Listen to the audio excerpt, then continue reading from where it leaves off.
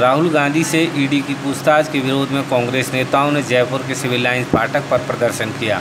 कांग्रेस प्रदेश अध्यक्ष गोविंद सिंह डोटासरा सहित कई नेता बैरिकेड्स पर चढ़ गए। इससे पहले हुई सभा में कांग्रेस नेताओं ने केंद्र सरकार को निशाने पर लिया।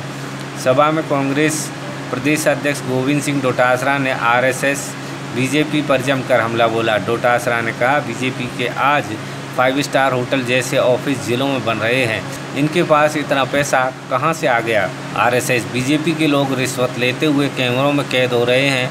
ये हमें ईमानदारी का पाठ पढ़ाएँगे ये किस मुँह से हमारी ईमानदारी पर सवाल उठाएँगे। ये एडी से चोटी तक चोटे लोग हैं।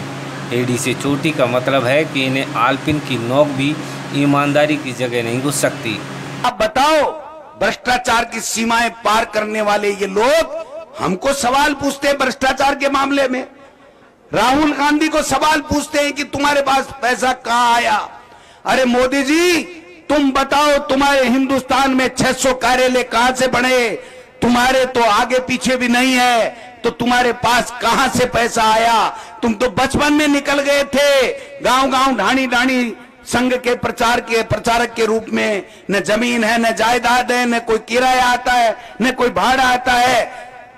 तो आपके पास पैसा कहाँ से आया कि पूरे हिंदुस्तान में बीजेपी के कार्यालय बन रहे हैं?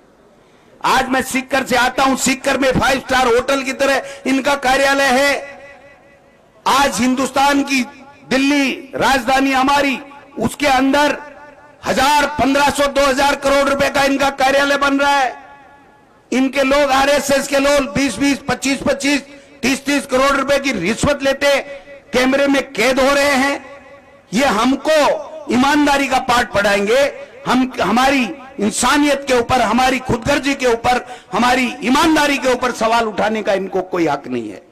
ये तो ठेठ एडी से लेके चोटी तक चोरते लोग हैं, इनसे हम डरने वाले नहीं हैं। एडी से चोटी समझो ना। एडी से चोटी का मतलब है कि आलपिन की नोक भी ईमानदारी की जगह नहीं घुस सकती है इनके। कि वो इस देश में कुछ भी करेंगे इस देश की इकोनॉमी को ध्वस्त कर देंगे। इस देश की जीडीपी को बर्बाद कर देंगे। इस देश के सारे एयरपोर्ट और पोर्ट अदानी को दे देंगे। इस देश का सारा धन अंबानी को दे देंगे। तो अगर एक व्यक्ति सब चीज़ के बीच में खड़ा हुआ है, जो निडर है, जो डरता नहीं है, जो हमेशा हर मुद्दे के खिलाफ बोला है, और अब लोगों को यह पहचान में आने लग गया कि जब राहुल गांधी बोलता है तो छह महीने बाद में सबको पता लगता है कि राहुल गांधी जी ने सही बोला था। वो आज देश के सामने वो परिस्थितियाँ बनती जा रही है। सबसे ज़्यादा हिंदुस्तान में कांग्रेस की सरकारें रही है। लेकिन कांग्रेस के लोगों ने बैरू सिंह जी को गिरफ़्तार नहीं किया, क्योंकि बैरू सिंह जी राजस्थान के बेटे थे। अशोक गहलोत भी राजस्थान का बेटा है। राजस्थान की जनता ब्याज सहित बीजेपी से वसूल करेगी उसकी गिरफ्तारी का। और जिन लोगों ने आप क्या समझते हो? ये गिरफ्तारी अशोक गहलोत की नहीं हुई है। ये राजस्थान की गिरफ्तारी हुई है।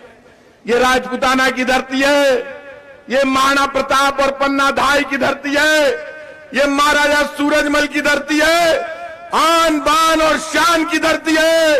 यहाँ का एक एक आदमी लड़ सकता है, मर सकता है, लेकिन मोदी जी, लाठी और गोली के सामने झुक नहीं सकता, ये ध्यान रखना। अगर आपको हमारी यह वीडियो पसंद आई हो तो लाइक शेयर एंड सब्सक्राइब ज़रूर करें। और बेल आइकन को दबाना ना भूलें। ताकि आपको आपके इलाके और प्रदेश की खबरें सबसे पहले मिले।